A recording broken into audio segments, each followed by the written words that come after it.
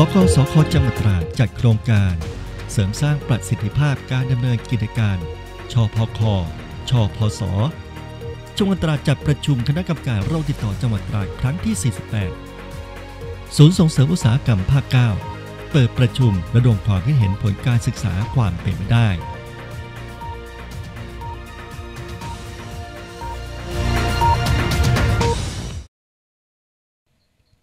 สกสคจังหวัดตราดจัดโครงการ เสริมสร้างประสิทธิภาพการดำเนินกิจการ ชพค ชพสประจำปี 2563 เวลา 9นาฬิกาที่ห้องประชุมโรงแรมตราดซิตี้โฮเทล จังหวัดตราด นายจำนงเหล่าคงธรรม ผู้อำนวยการสำนักงาน สกสค จังหวัดตราด นายเศรษฐา เสนวงศ์ศึกษาธิการตราด คณะครูบุคลากรทางการศึกษาในจังหวัดตราด ร่วมเข้าประชุมการดำเนินกิจการชพค และชพส ประจำปี 2563 นายจำนงเหล่าคงธรรม ผู้อำนวยการสำนักงานคณะกรรมการส่งเสริมสวัสดิการและสวัสดิภาพครู และบุคลากรทางการศึกษา หรือสกสค จังหวัดตราด ได้กล่าวว่า การดำเนินกิจการโครงการ เสริมสร้างประสิทธิภาพ กิจการชาปนกิจสงเคราะห์ช่วยเหลือเพื่อนครู และบุคลากรทางการศึกษา หรือชอพคการชาปนกิจสงเคราะห์ช่วยเหลือเพื่อนครู และบุคลากรทางการศึกษา ในกรณีที่คู่สมรสถึงแก่กรรม หรือชอพสปีงบประมาณ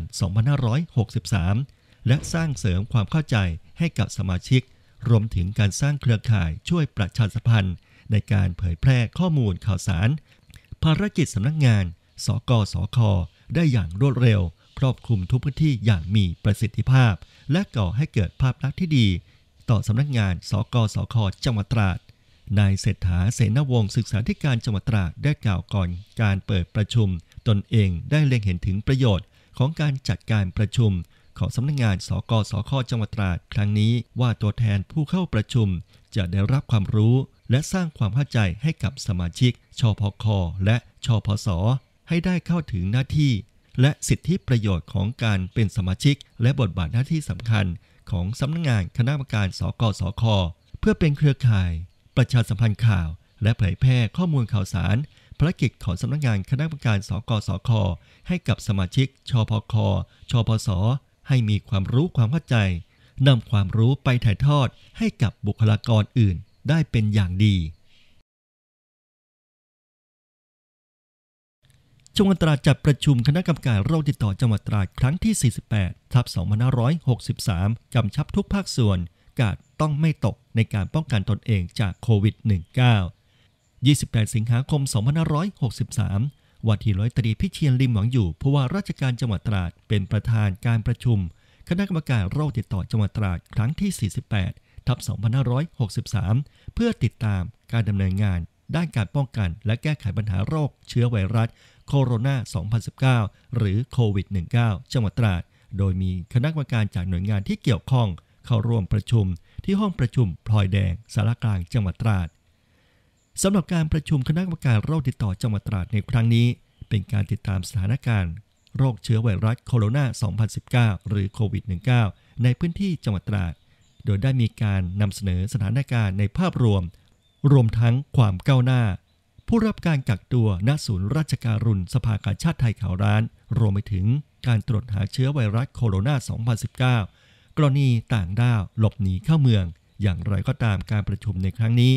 ผู้ว่าราชการจังหวัดตราดได้แจ้งกับที่ประชุมว่า จากการตรวจสอบป้องกันปัญหาโรคเชื้อไวรัสโคโรนา 2019 ในแหล่งชุมชน โดยเฉพาะที่ตลาดซอยไร่รัง เทศบาลเมืองตราดกับพบว่า ประชาชนเริ่ม ให้ความสำคัญกับการสวมใส่หน้ากากอนามัย หน้ากากผ้าน้อยลง ทางจังหวัดจึงขอกำชับให้ทุกภาคส่วน เน้นย้ำให้ประชาชน ปฏิบัติมาตรการป้องกันปัญหาการแพร่ระบาดของโรคโควิด -19 อย่างเคร่งครัด โดยเฉพาะการสวมใส่หน้ากากอนามัย หน้ากากผ้าทุกครั้งที่ออกจากบ้าน การหมั่นล้างมือด้วยแอลกอฮอล์เจล เพื่อป้องกันปัญหาการแพร่ระบาดรอบที่ 2 ของโรคเชื้อไวรัสโคโรนา 2019 หรือโควิด -19 และเนื่องจากช่วงนี้ใกล้เทศกาลกินเจ และเทศกาลทิ้งกระจาด ที่จะมีผู้คนร่วมกันมาก ซึ่งเป็นความเสี่ยงต่อการแพร่ระบาดของโรค ดังนั้นทางจังหวัดจึงขอย้ำให้ประชาชนทุกคนต้องไม่ประมาทในการป้องกันตนเอง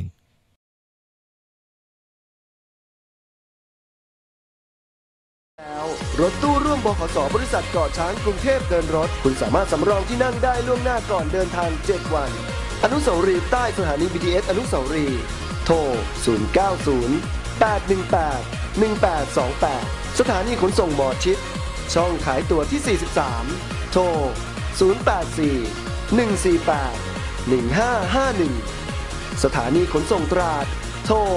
039 525 222ท่าเรือเฟอร์รี่ โทร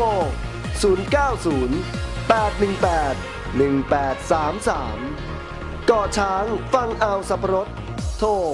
090 818 1844 สถานีขนส่งเอกมัย โทร 090 818 1855 เอกมัยรถออกเวลา 6 นาฬิกา 8 นาฬิกา 10 นาฬิกา 12 นาฬิกา 16 นาฬิกา และ 18 นาฬิกา ศูนย์ส่งเสริมอุตสาหกรรมภาค 9 เปิดประชุมระดมความคิดเห็นผลการศึกษาความเป็นไปได้ ของโครงการจัดตั้งระเบียงผลไม้ภาคตะวันออก e t e r n Fruit Corridor EFC ที่ตราด วันที่ 28 สิงหาคม 2563วันที่ร้อยตรี พิเชียนลิมหวังอยู่ผู้ว่าราชการจังหวัดตราด มอบให้นายนัทพงศ์สงวนจิต รองผู้ว่าราชการจังหวัดตราดเป็นประธานเปิดการประชุม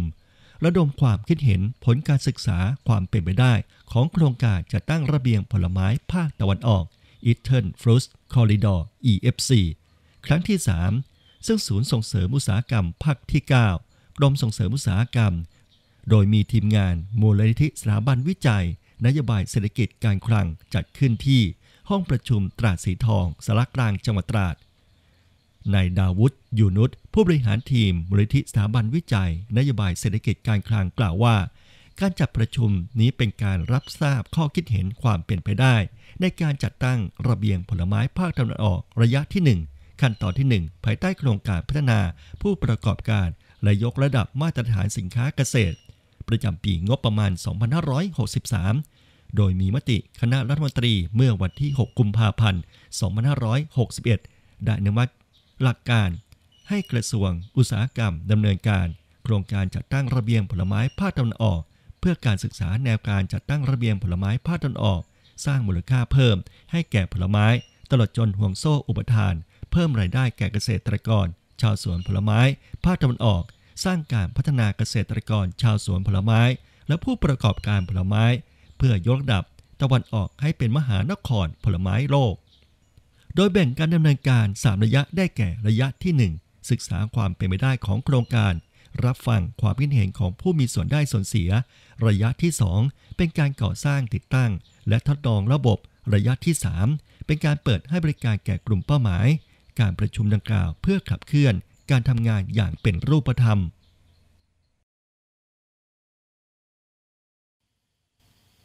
สำนักงานประชาสัมพันธ์จังหวัดตราด แจ้งคอรมอเห็นชอบขยายเวลา การอนุญาตทำงานแรงงานต่างด้าว3ชัญชาติ กัมพูชาลาวเมียนมา ภายใต้สถานการณ์โควิด -19 สำนักงานประชาสัมพันธ์จังหวัดตราดรายงานว่า คณะรัฐมนตรีเห็นชอบแนวทางการบริหารจัดการ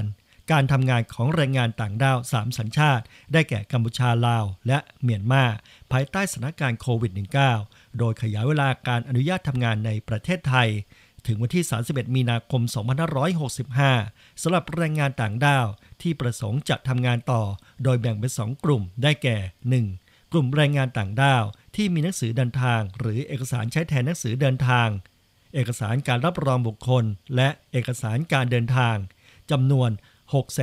649,046 คน โดยนายจ้างต่างพาแรงงาน ไปยื่นคำขอ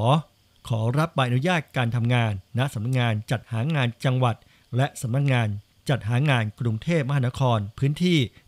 1-10 ในพื้นที่แรงงานต่างด้าวทำงานอยู่ ให้แล้วเสร็จภายในวันที่ 31 ตุลาคม